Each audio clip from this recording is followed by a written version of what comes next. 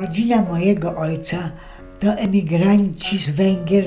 Osiedlili się początkowo ko- w Zawoi, potem przenieśli się do Krakowa. Najstarszy z tej rodziny, senior Teodor Kysiak, poznał w Krakowie sierotę, panią Marię i ożenił się z nią.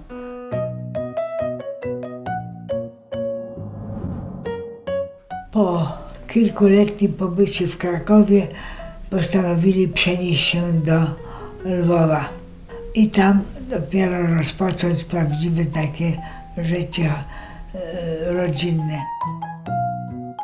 Nie potrafię niestety powiedzieć, dlaczego akuratnie dziadek e, Krysiak e, założył firmę meblowo-dekoracyjną. Meble powstawały na zamówienie. Klient przychodził z, ze szkicem swojego mieszkania i mówił, jakie pokoje by sobie życzył. A firma była na placu Smolki pod numerem czwartym obok kina Marysienka. Dziadek zawsze wy, wychodząc z firmy ostatni miał dwa wspaniałe psy, miał taki szeroki lniany pas, gdzie były przegródki na zamki błyskawiczne, tam chował pieniądze.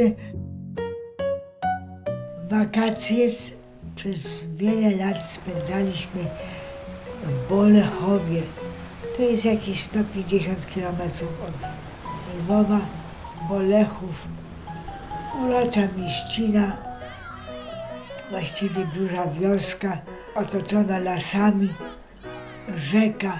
Tam wynajmowaliśmy domek u gospodarza i tam spędzaliśmy wakacje. Cudowne wakacje, bo las, rzeka, codziennie człowiek tylko zjadł śniadanie, zabrał drogie śniadanie, mamusia już przygotowywała, wziął kostium kąpielowy i już zbiegał się z góry na dół do rzeki.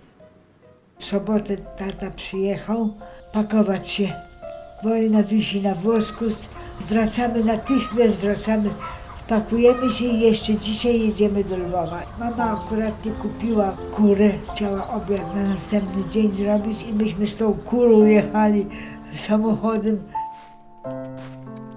Marzyło mi się koncertowanie, wielka kariera muzyczna i nie mogłam wybrać medycyna czy muzyka. Zaczęłam jedno i drugie, bo i konserwatorium zaczęłam, ale wkroczenie Rosjan do Lwowa przerwało i jedno i drugie.